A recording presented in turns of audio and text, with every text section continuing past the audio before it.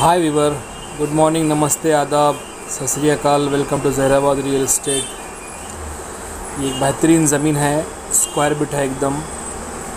बहुत ही खूबसूरत बिट है। फेंसिंग किया हुआ है।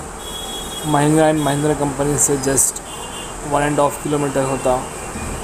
निर्मला धरती से आपको जो है सो एक थ्री किलोमीटर होता।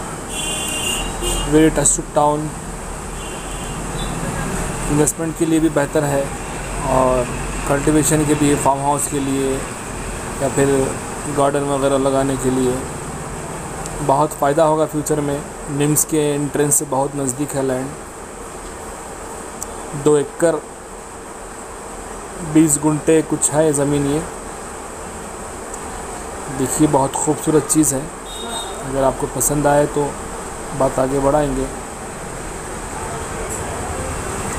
Mahindra and Mahindra company main Chowrasta Singh Dhaba global city moonlight Bidar चौरस्ता ये ज़मीन से सब कुछ आपको एक से तीन किलोमीटर के रेंज में रहेगा। और नॉर्थ फेसिंग है गुड कनेक्टिविटी है, पानी का एरिया है। आसपास आप देख सकते वेल डेवलप्ड फार्म है इधर। एक्सपोर्ट टाइप गार्डन का जो आम है पे एक्सपोर्ट होता है यहाँ से।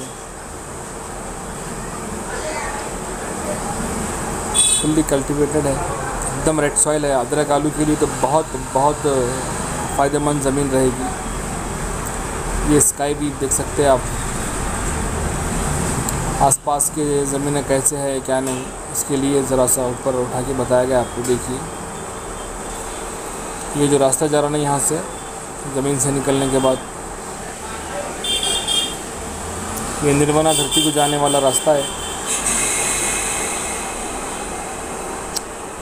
तो लिहाजा बहुत से फ़ायदे हैं ज़मीन ख़रीदने के। फार्म हाउस के लिए तो इतनी खूबसूरत है, पूछिए मत आप। और भी ज़मीनें हैं हमारे पास।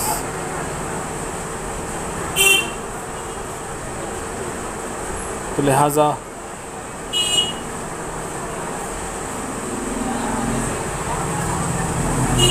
पसंद आए तो हमारे चैनल को लाइक कीजिए, सब्सक्राइब कीजिए।